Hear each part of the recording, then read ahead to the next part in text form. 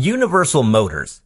They are capable of running under both DC and AC power supply. This unique feature makes them preferable for many special types of applications. A universal motor is a specially constructed DC series motor. Let's consider a simplified series motor.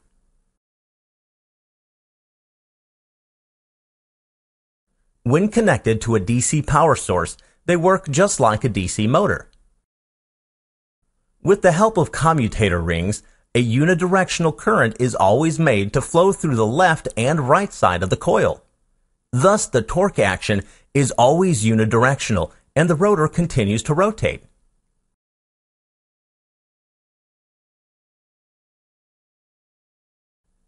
Let's see what happens when the same motor is connected to an AC power source.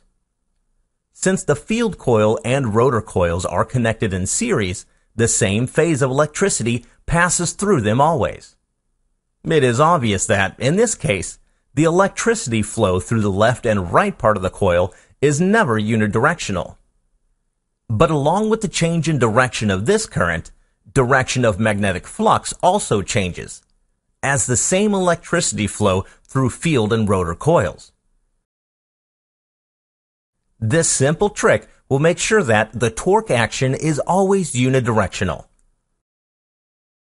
Here are the different scenarios that could occur during the motor rotation.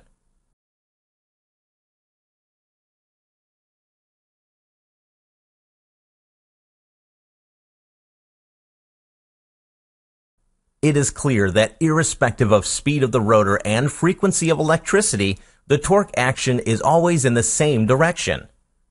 As a result, the rotor will continue to rotate, even under an AC power source.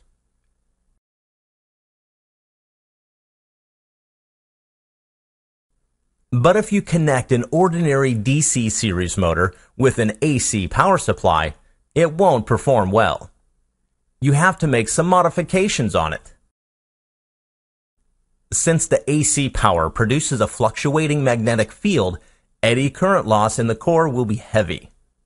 For this reason, the core layers should be laminated for a universal motor. During the AC operation, the transformer action induces an EMF and extra sparking at the brush contact. Thus, the contact brushes of a universal motor have to be of high resistance. We hope you had a nice introduction on the working of universal motors. Thank you for watching the video.